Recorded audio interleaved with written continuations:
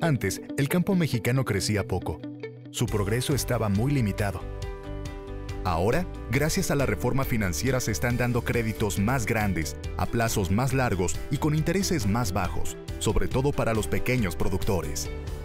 Así nuestro campo se moderniza y crece. Esto es la reforma financiera en acción. Mover a México, Gobierno de la República,